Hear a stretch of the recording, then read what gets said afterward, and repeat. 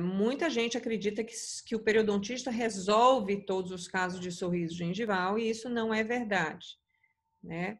O sorriso gengival, quando ele tem associado a causa a questão da erupção passiva alterada, o excesso de tecidos gengivais e periodontais sobre a estrutura dental, diminuindo o tamanho da coroa clínica em, compensa, em, em relação à coroa anatômica do paciente, aí sim o periodontista tem um papel muito importante em reposicionar os tecidos ali na direção do ápice do dente. Né? E muita gente acredita que o, a cirurgia de aumento de coroa clínica seja uma cirurgia, quando realizada ali nos dentes estéticos, né, na exposição radial do paciente, seja uma cirurgia estética.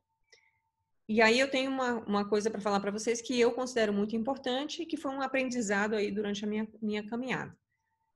Toda cirurgia plástica né? A grande maioria das cirurgias plásticas, elas trazem um benefício funcional, elas devolvem a anatomia adequada para o dente e para o periodonto, e, portanto, elas têm um resultado estético muito satisfatório. Então, a estética, ela vem da função adequada, ela vem da anatomia adequada.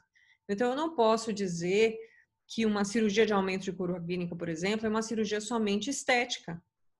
Então, tem muita gente que chama, ah, eu vou fazer uma cirurgia de aumento de coroa clínica estética. Na verdade, não. A cirurgia de aumento de coroa clínica, seja pré-protética ou seja estética, ela é uma cirurgia de reposicionamento dos tecidos periodontais. Né? Muitas vezes eu estou devolvendo ao meu paciente a inserção conjuntiva que ele não tinha, né? eu estou harmonizando proporções de coroa clínica e de periodonto.